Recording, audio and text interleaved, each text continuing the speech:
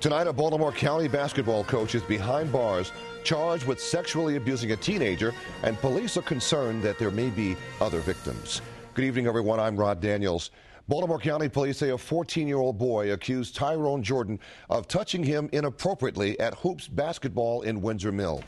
11 News reporter Kerry Kavanaugh is live at police headquarters in Towson. She has tonight's big story. Kerry?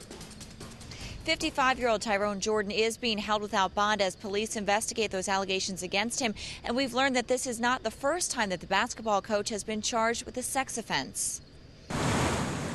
Kids can drop in and pick up a game at Hoops basketball any day of the week or join a league and compete at the Pikesville area club. Rather than be in trouble or be on the street, the kids can come play basketball or racquetball. But now one of the Hoops coaches is in trouble with police. Detectives arrested 55 year old Tyrone Terry Jordan after a 14 year old boy reported that Jordan touched him inappropriately at the club two weeks ago. It does appear that it was just the 14 year old child and the basketball coach in the room at this particular time. Jordan, known as Coach Ty, is charged with felony sexual abuse as well as fourth degree sex offense. I'm really surprised, really shocked, upset. This is not the first time Jordan has faced charges like this.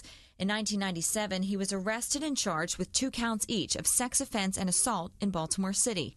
Court records show that he pled guilty to misdemeanor assault and received probation before judgment. The other charges were dropped. Now, detectives are working to find out if Jordan may have had inappropriate contact with other kids at Hoops. We are concerned about the possibility of additional victims, just given this individual's role in this club.